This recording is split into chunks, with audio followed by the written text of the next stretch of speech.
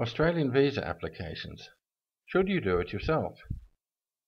I answered a question the other day on the Migration Help Forum, which is one of the more sensible migration advice forums, because amateur so-called experts are not permitted to advise others, who wanted a migration agent to give his application forms the once over and tell him if it's all okay.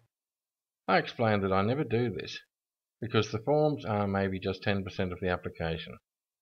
I could easily see this man heading for disaster, because he insists on doing it all himself despite it being very clearly beyond him. We had three lawyers as clients in 2012, because they were smart enough to know they needed an expert. All their visas were granted too. They, like all our clients, realize that there is too much to lose because the outcome matters to them. So what do we do? Do we just fill in forms and tick the right boxes? No. We assess the application and the relationship to see if they meet the criteria written in the migration regulations for that particular visa subclass. We need to know all about them, their families and or children, and their current and any previous relationships. Decide what documents and items of evidence we require for them, i.e. requirements, and explain that clearly to the client. We do this with a customized checklist which is different for every client as it's based on the previous assessment of them, and reinforce this with guidebooks and videos. We gather and check all the collected documents and items of evidence for their accuracy and suitability, and I would guarantee you every single client gets this wrong even after we explain it to them, so there's a lot of fine tuning.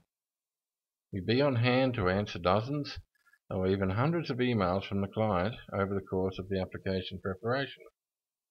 We prepare the client for how to deal with the department, and how not to deal with the department, and how to get through the process without turning into a nervous wreck.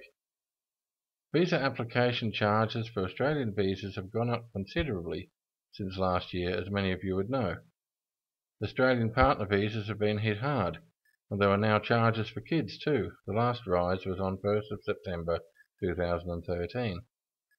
It appears though that most people realise that it's not about money, as September was one of our busiest months for new clients and October will probably be the same given the number of inquiries.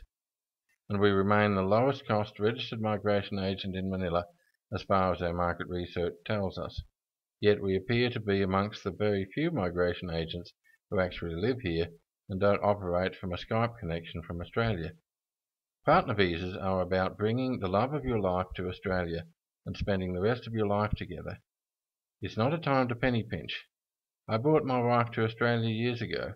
I have no recollection whatsoever ever what it cost me, because that wasn't the point, and I'm sure it's not the point with you either, is it?